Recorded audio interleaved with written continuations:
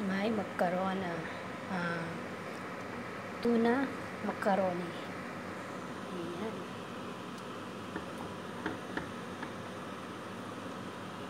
Tuna macaroni. Ito yung ating macaroni. Lagay natin.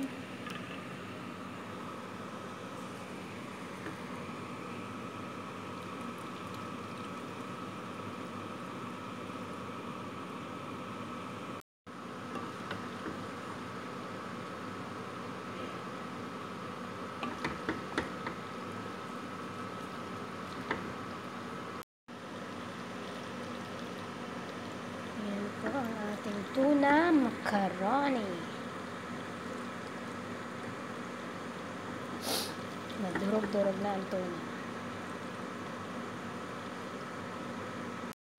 Ayan po guys, tuna in can lang po yung sahog niya. Tuna, tuna. Tuna in can. Ayan. Very easy. Tuna macaroni. Ito po yung tuna na ginamit ko. Tuna. Tuna.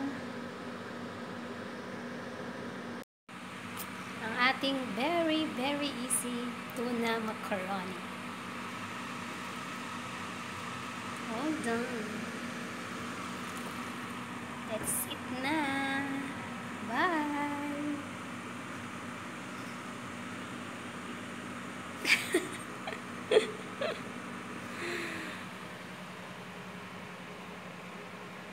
ang inyong Labs Ming Cusinera.